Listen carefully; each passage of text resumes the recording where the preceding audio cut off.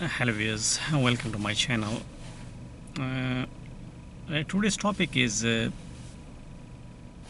uh, or lambliasis and the other common names used are the uh, giardiasis lambia. So these are the different names used for the same medical condition. Now giardiasis uh, is the most common name used and uh, it is an infection of the small intestine that is caused by the parasite, uh, also known as uh, Giardia lamblia. You know, uh, sorry, lamblia,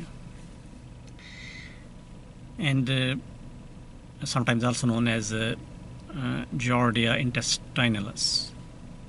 So, it is the most common cause of parasitic gastrointestinal disease, and it is estimated around uh, 20 to 40 percent um, uh, in the world population, you know, suffer uh, of this uh, disease at some stage in life, you know. Now,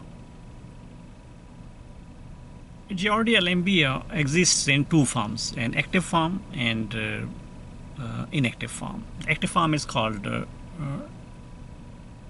trophozoite and the inactive is called cyst. Now the active uh, trophozoite attaches to the lining of the small intestine with this sucker and uh, it is responsible for causing the signs and the symptoms of the uh, giardiasis, you know.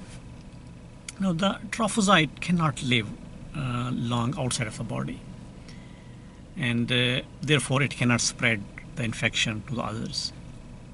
Uh, now, the inactive cyst, on the other hand, can exist uh, for a prolonged period of time outside the body, so it causes, uh, it transmits from one person to other person through the feces and water, water and other mediums. You know.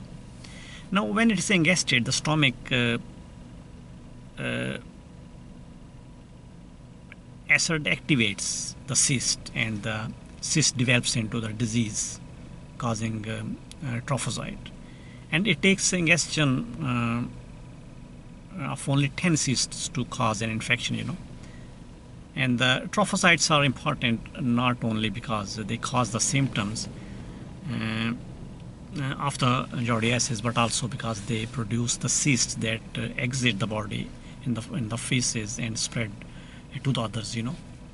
And the cysts of the uh, giardia present in the feces of the infected persons thus the infection is spread from the person to person by contamination of the food with the feces or the uh, by direct uh, uh, fecal oral uh, contamination or the cysts also survive in water you know for example in fresh water lakes and streams you know so this way it spreads from one person to other person uh, thank you very much for watching this video. If you need more information about any disease, any medical condition, you can visit our website www.diseasesandtreatment.com.